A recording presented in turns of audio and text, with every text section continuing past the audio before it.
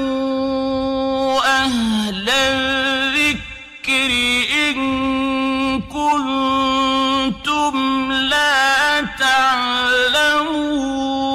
تعلمون ওয়ালাইকুম সালাম রহমতুল্লাহ বরকাতহ আলহামদুলিল্লাহ ওয়াহদা ওয়াসালাত ওয়াসালাম আলা মাল্লা নাবিয়া বাদা এক সম্মানিত বোন জিজ্ঞেস করছিলেন যে মুত্তাকি কারা এদের বৈশিষ্ট্য যদি বলতেন তাহলে উপকার পেতাম আহ, যে সম্মানিত বোন, আসলে বিষয়টা অনেক বড়, তারপরও সংক্ষিপ্ত আকারে বলছি, মুত্তাকি, মোত্তাকি ওরাই যারা অন্যায় অপকর্ম থেকে নিজেকে রক্ষা করে। অন্যায় অপকর্ম থেকে নিজেকে রক্ষা করে, আর যেগুলা সৎ আমল রয়েছে, সেগুলা তারা নিজের জীবনে বাস্তবায়ন করে। এ মর্মে ওলামা সুন্না একটা ব্যাখ্যা নিয়ে এসছেন যে মোত্তাকি কারা, কাদেরকে মোত্তাকি বলা হয়? তো চারটি কথা উল্লেখ করেছেন। এক নম্বরে যে মোত্তাকি যারা হবে, তারা হলো তাদের প্রত্যেকটি কাজকর্মে আল্লাহ এবং তার রাসুলের আনুগত্য করবে। এ মর্মে আল্লাহ সুবহান তালা বলেন মাইয়তে আর রসোলা ফাকদ আত আল্লাহ।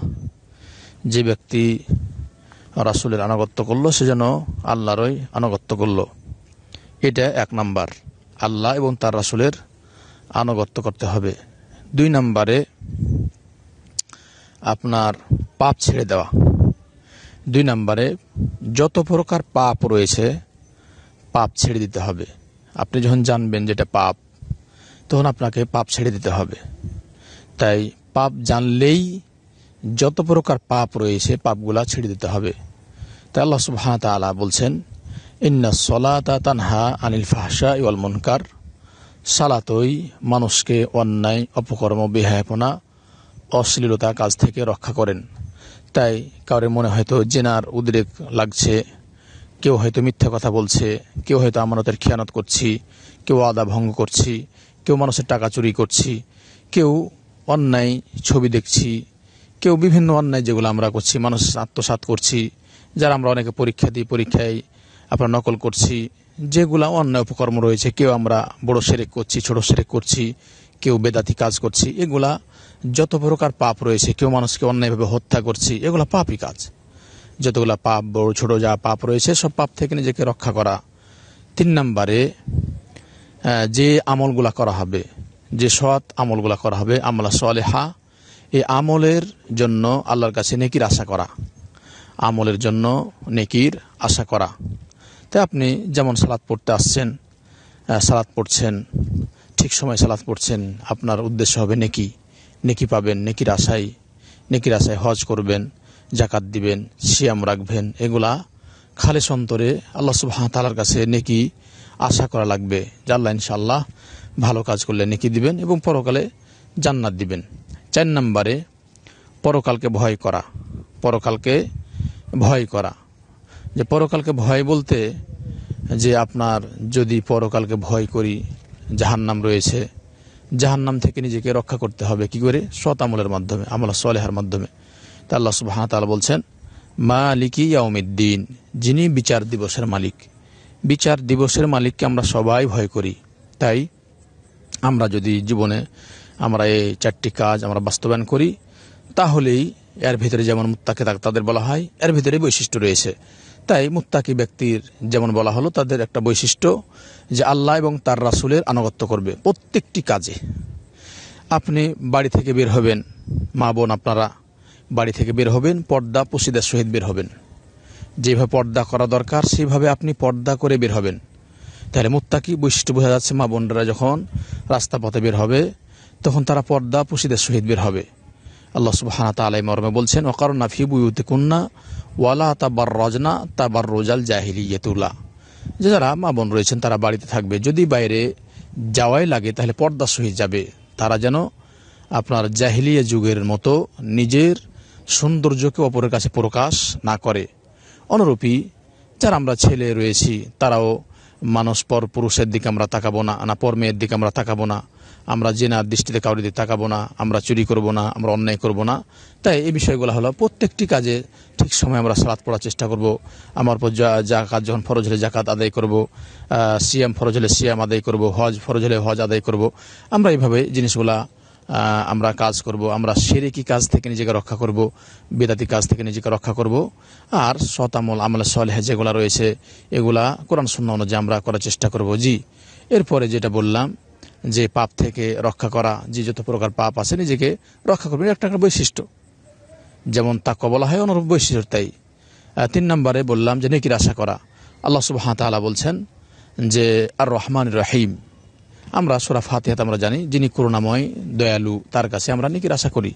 সালাদ পড়ি, হজ করি জাকাত দিই, এগুলা মূলত আল্লাহর কাছে নেকির আশা করি। তো ভালো কাজের যেগুলা করব, নেকির আশা আমাদেরকে করা লাগবে।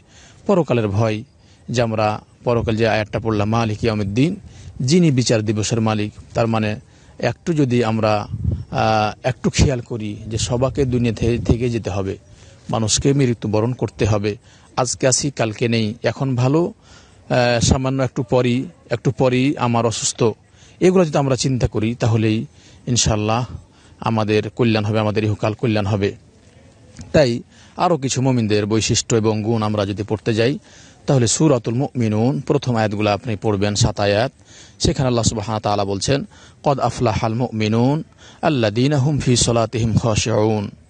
আহ, তারা মমিনগণ সফলকাম হয়ে গেছে। যারা তাদের সালাতে বিনয় নম্র সহকারে যারা সালাত আদায় করেছে আল্লাযীনা হুম ফি সলাতিহিম খাশিউন ওয়াল্লাযীনা হুম আনিল লাগবি মুরিদুন। আর যারা অন্যায় কাজে যারা অন্যায় কথা বলে অন্যায় কাজ করে তার সাথে তারা জড়িত হয় না। ওল্লাদিন আহম আনিল লাগবি মরিদুন ওল্লাদিন আহম লিজাকাতি ফাইলুন আর যাদের উপর জাকাত ফরজ হয়েছে তারা জাকাত আদায় করে। ওল্লাদিন আহম লি ফুরুজিহিম হাফিজুন আর ছেলে হোক, মেয়ে হোক, তার নিজের ইজ্জতকে হেফাজত করে। নিজের ইজ্জতকে হেফাজত করে। ওল্লাদিন আহম লি ফুরুজিম হাফিজুন ইল্লা আলা আজওয়াজিহিম আও মা মালাকাত আইমানুহুম ফাইন্নাহুম গৈরু মালুমিন গৈরু মালুমিন। তবে তার স্ত্রীর কাছে তার স্ত্রী যদি স্বামী থাকে, স্বামী, স্ত্রী এবং দাস যে দাস প্রথা আগে ছিল এখনও সে যদি দাস কাউরি থাকে, তো দাস অথবা আপনার স্ত্রীর কাছে তার সেখানে যদি স্ত্রীর সাথে সহবাস করে বা তার দাস যে আল্লাহ রসুল যুগে যে দাস ছিল এরকম যদি হয় তাহলে সে নিন্দনীয় হবে না।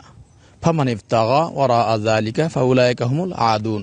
আর যদি তার স্ত্রী বাদ দিয়ে, তার দাস দাসী বাদ দিয়ে যদি অন্যর কাছে করে, তাহলে তারা সীমালঙ্ঘনকারী হবে। তারা সীমালঙ্ঘনকারী হবে। তাই এইভাবে আর কি দিন হুমলি আমানাতিহিম ওয়াহাতিম রউন। এরপরে তারা মূলত তাদের যদি আমানত থাকে, আমানতকে রক্ষা করবে, ওয়াদা পূর্ণ করবে, ওয়াদা ভঙ্গ করবে না। দিন আলা সালাওয়াতিহিম হাফিজুন আর তারা সালাত, তারা সালাতকে হেফাজত করবে। ওয়ারিসুন খালিদুন। তাহলে তারাই জান্নাতের ওয়ারিসদার হবে। তাহলে এরাই হলো মমিন মুত্তাকিদের এগুলা মোটামুটি গুণ, আরও অনেক গুণ আছে। তাই যে আমরা যারা মুত্তাকি হতে চাই, তারা আমরা যেন আল্লাহকে ভয় করি। তাই অন্য হাদিসে ইমাম তিরমিজি রহমাল্লাহ একটি হাদিস নিয়ে এসেছেন এবং অন্য গ্রন্থে এসেছে যে আপনার কিয়ামতের দিন সব থেকে যে বিষয়গুলা কল্যাণকর যে এবং আল্লাহর কাছে বেশি গ্রহণযোগ্য সেটা বলছে তাকওয়াল্লাহ ও হসনুল খলুক। তাকওয়াল্লাহ, হসনুল খলুক, আল্লাহ সুবাহ তালা যে ব্যক্তি তাকওয়া অর্জন করেছে, গোপনে প্রকাশ্যে, তারা পরকালে জান্নাত লাভ করবে, জাহান্নাম থেকে মুক্তি পাবে। উত্তম চরিত্র উত্তম চরিত্র যার হবে, সে ব্যক্তি উত্তম চরিত্র আলা সে অন্যায়, অপকর্ম থেকে নিজেকে রক্ষা করবে। এমনিতেই উত্তম মানুষের সাথে শুধু কথাবার্তায় ভালো করলেন, সালাত নাই, হজ নাই জাকাত নাই, সিয়াম নাই, পর্দা পশিদে নাই, এটা কিন্তু নাই উত্তম চরিত্র বলতে আল্লাহ রসুল সাল্লা সাল্লাম যে আদর্শ নিয়ে এসেছেন, তার আদর্শগুলাকে বাস্তবায়ন করা। আপনার গোপনে প্রকাশ্যে গোপনে প্রকাশ্যে সব জিনিস থেকে নিজেকে রক্ষা করা। গোপনে প্রকাশ্যে নিজেকে রক্ষা করা। যেমন, এখন বর্তমানে যে ছেলে মেয়েদের যে অবস্থা, কা- কোনো ছেলে কোনো মেয়েকে ভালোবাসে, এখন এই ভালোবাসার ক্ষেত্রে কেউ যদি এরকম করে ভালোবাসে, দেখা যায় ভালোবাসছে, আর ভালোবাসতে বাসতে দেখা যায় নির্জনে তো তারা জেনা করছে। এটা হলো ভয় নাই। যদি দেখা যায় ভালোবাসা, এরকম হয়ে গেছে শৈতান অসুস্থ পড়ে, কিন্তু হয়তো সে কুকর্ম করবে, খারাপ কিছু করবে, সেই মুহূর্তে আল্লাহর ভয়ে সে সরে গেল। তাহলে এই গোপন, গোপনে তাকে আল্লাহর ভয়ে সে দূর সরে গেল, আল্লাহ তাকে মাফ করবে। তাই যে আমরা বান ইসরায়েল কম তারা তিন তিনজন ব্যক্তি যখন তারা মাঠে গিয়েছিল সে সময়তে তাদের এক গুহাতে ঝড় তুফান আসলে, এক গুহাতে তারা বসলে তাদের উপর মাথা, মাথার উপর পাথর যে চেপে বসেছিল, তাদের তাদের বিষয়গুলো চা পাথর চেপে বসলে তারা সবাই বলছে, এখন তোমাদের কার কোন আমল আছে? আল্লাহকে বলো। একজন বলেছিল, হে আল্লাহ, আমার পিতা মাতার আমি খেদমত করেছি। আমি মাঠে ছাগল চড়াতে যেতাম, এরপরে দুধ দহন করে পিতামাতাকে আবার খেতে দিতাম। তারপরে আমার সন্তান খে- খেতে দিতাম। যদি এটা তোমার জন্য করে থাকি, তাহলে একটি পাথর সরাই দাও। আল্লাহ সুবাহ তাআলা একটি পাথর সরাই দেয়। আর একজন ব্যক্তি বলেছিল, হে আল্লাহ, আমার চাষাইতো বোন ছিল, তার সাথে কুকর্ম করবে। এই মর্মে তার কাছে প্রস্তাব দিয়েছিলাম। সে বলছে, একশত দিনার অথবা দিরহাম, একশত বিশ দিনার অথবা দিরহাম আমাকে নিয়ে এসে দিলে তোমাকে এই কাজ করতে দেব। সে ঠিকই তা নিয়ে গেছে একদিন। নিয়ে যাওয়ার পর তার বোন বলছে, ইত্তাকিল্লাহ, আল্লাহকে ভয় করো, তোমার এটা হক নয় সে বলছে, আল্লাহ, তোমার ভয়ে আমি সরে গেছিলাম। যদি এই কাজটি শুধু তোমার জন্য আমি করে থাকি, তাহলে আমাকে একটি পাথর সরাই দাও। আল্লাহ সুবাহ তাআলা পাথর সরাই দিয়েছিলেন। আর একজন ব্যক্তি, সে আমানত রক্ষা করেছিল, তাই পাথর সরাই দিয়েছিলেন। আর একজন ব্যক্তির বলছিলেন, হে আল্লাহ, আমার বাড়িতে কামলা কাজ করেছিল, আমি তাকে টাকা দিয়েছিলাম, কিন্তু লেয়নি। তার টাকা দিয়ে গরুর পাল করেছি, তারপর রাখাল, সে সে এসে একদিন নিয়ে চলে যাই। তাকে বললাম, এই যে তোমার এগুলা সে নিয়ে চলে যায়, সবই নিয়ে চলে গেছে। হে আল্লাহ, যদি এই কাজগুলা তোমার জন্য করে থাকি তাহলে পাথর সরা দাও। এইভাবে আল্লাহ সুবাহ তালা পাথর সরাই দিয়েছিলেন। ইমাম বুখার রহিমাল্লাহ হাদিসটি নিয়েছেন তাই গোপনে প্রকাশ্যে গোপনে প্রকাশ্যে আল্লাহকে ভয় করলে নিশ্চিত সে বেঁচে যাবে। নিশ্চিত বেঁচে বেঁচে যাবে। গোপনে প্রকাশ্যে আল্লাহকে ভয় করতে হবে। তাহলে তারা মুত্তাকি যারা হবে, তাদের বাঁচার উপায় হলো তা কল্লা ফিসির আলানিয়া গোপনে প্রকাশ্যে সর্বদাই আল্লাহকে ভয় করতে হবে। অন্যায় উপকর্ম থেকে নিজেকে রক্ষা করবে এবং হক কথা বলা বলা প্রয়োজন, হক কথা বলতে হবে। সঠিক কথা সঠিক কথা যে বলবে সেও নাজাত পেয়ে যাবে এবং মধ্যপন্থা অবলম্বন করলেও সে নাজাত পেয়ে যাবে। মধ্যম পন্থা বলতে যে আপনার টাকা পয়সা রয়েছে, অনেক টাকা পয়সা এমনিতে এমনিতেই খরচ করছেন, বরং আপনার যে যে, যেটা যেভাবে প্রয়োজন, অন্যায় উপকর্ম দ্বারাতে আপনি নষ্ট করবেন না, প্রয়োজনের আপনি ক্ষেত্রে ব্যবহার করবেন। হক পেলে হককে সঠিক সঠিক অনুযায়ী কোরআন শূন্য অনুযায়ী জীবনযাপন করলে ইনশাআল্লাহ মানুষের ইহকাল পরকাল কল্যাণ হবে আল্লাহ সুবহান তালা যেন আমাদেরকে কোরআন, হাদিস অনুযায়ী আমল করার তৌফিক দান করেন। আল্লাহ আলম। সুবহানাক আল্লাহ হামদিকা আসাদ আল্লাহ ইলাহা আন্তা। আনতা ওয়াস্তাগফিরুকা ওয়া আতুবু ইলাইক।